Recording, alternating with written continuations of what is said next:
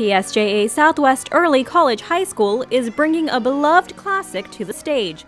The Southwest Theater Department presents Annie Jr., an adaptation of the musical about an orphan determined to find her parents. Annie is a little orphan who is going to get adopted by a famous rich man, and he, he's going to treat her very nicely. It was one of the um, my, one of my favorite stories. It's old, it's heartwarming, it's uh, perfect for the holidays.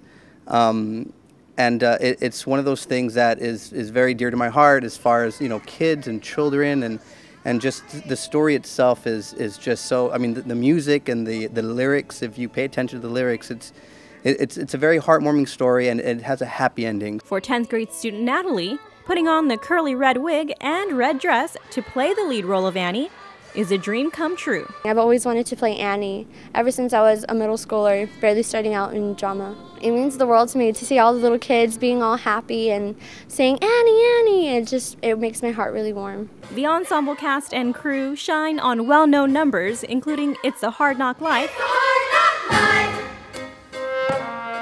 and "Tomorrow."